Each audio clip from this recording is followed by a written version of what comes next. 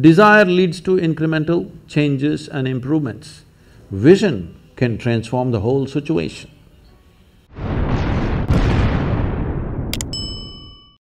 Visionary Women is a volunteer-run uh, organization, and I know that every single person who is here is giving their time to one organization or another. And the fact that you have nine million volunteers, and you were talking about the relationship between volunteerism and willingness, and that it's through willingness that you uplift your consciousness, if I'm quoting you correctly or I'm understanding it in some ways talking about how it could be a doorway to becoming a bigger person than mm-hmm. who you are. See, um, before we come to women, first thing is visionary. What a vision and vision means is, see, everybody has desires. Desire is an incre incremental way of enhancing our life. Today you desire, I must have a home, tomorrow you desire, I must have this money, tomorrow you desire something else. These are incremental ways of arranging and rearranging our lives, mm -hmm. which are needed to do a few things. When you say, I'm a visionary, what you're saying is, I have a larger desire, which is not about just incremental improvement of my life. Desire is about me always. Vision is an all-in… all-inclusive process. So, this itself is a phenomenal thing. If people, instead of having desires, if they have a vision, vision is always all-inclusive. Desire is personal.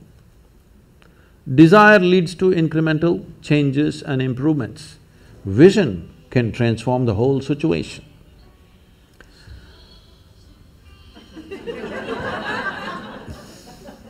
I like music.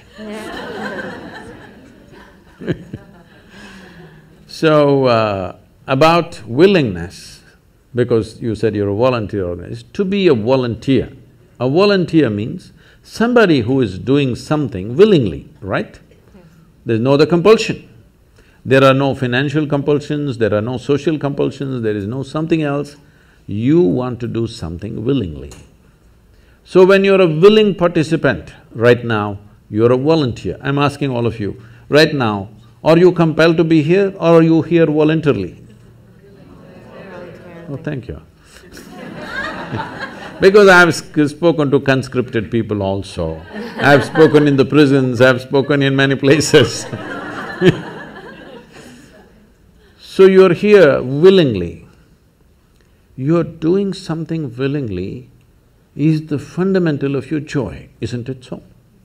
Hello? However simple or stupid or idiotic activity it is, I am doing something willingly, makes a world of difference, isn't it so? Hello? Yes. The difference between heaven and hell is just this, you're doing something willingly, that's your heaven. You're doing something unwillingly, that's your hell.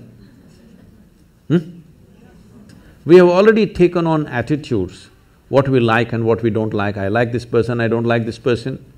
Now with this person I will do things willingly, with this person I'll do things un unwillingly. This may be two people, two aspects of life, two communities, two nations, two many things. This I will do willingly, this I do unwillingly. This means I've decided in my mind this is good, this is bad. When I hear even on national news channels, good guys and bad guys, it just… Once you have this kind of thing, you are going to be disastrous to the planet, it's just a question of time. The moment you decide, this is a good person, this is a bad person, this has gone deep into American society.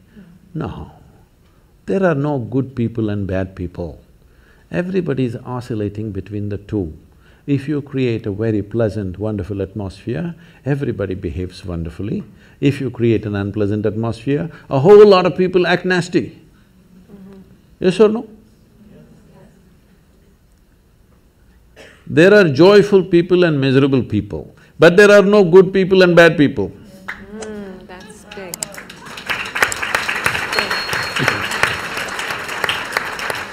The… the moment we think we are good, We are entitled to destroy the bad, isn't it? Yeah.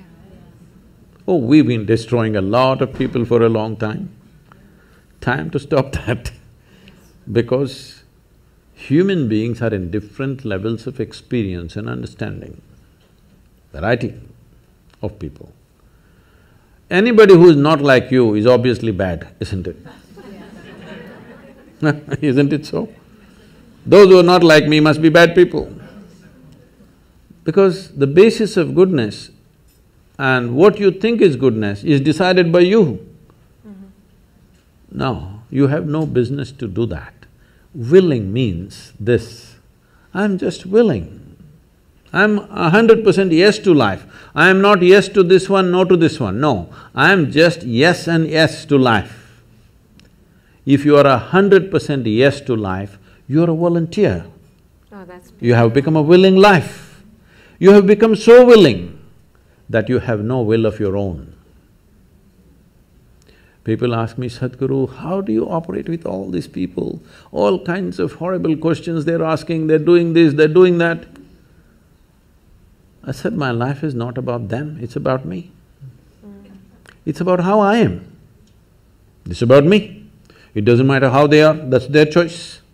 But how I am is my choice, this is my way. No matter what they do, I'm like this because I have not given that freedom to anybody that somebody can freak me, somebody can make me angry, somebody can make me happy, somebody can make me unhappy. These privileges I kept to myself. Mm-hmm. It's time you do that too. Because if somebody else can decide what can happen within you right now, isn't this the ultimate slavery? Huh? Isn't this? Someone else can decide what should happen within you. What happens around you, of course, so many people decide. Hmm? What happens around us is not hundred percent ours, but what happens within me must be my making, isn't it? Right now, just about anybody can freak anybody because they're not volunteers, they're unwilling.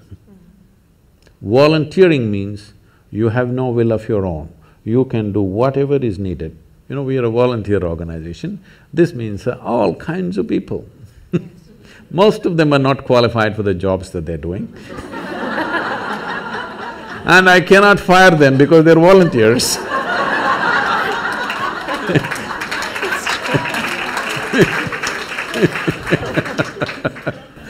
so people keep coming up to me on a daily basis, Sadhguru, I can't work with this person, she's so horrible, I can't do it. I tell them, see, in this world, this is the sort of people who exist, like this, like this, like this, like this, this is the kind of people there are. But if you want to work with ideal people, you must go to heaven. and today. And today. But if you think what you're doing is very significant, you must learn to work with all these horrible people. This is how the world is. If you think what you're doing is very significant, you learn to work with all kinds of people. You will see horrible people will do wonderful things. Yes? Yes, yes. But if you want to work with ideal people, you won't find any. I haven't found one yet. all kinds of mixed bags. Yes. But if you are willing that you are not yes and no, yes to one, no to another, you're simply one big yes, you will find a way. Thank you so much. That I, I, I always say that it's the resistance.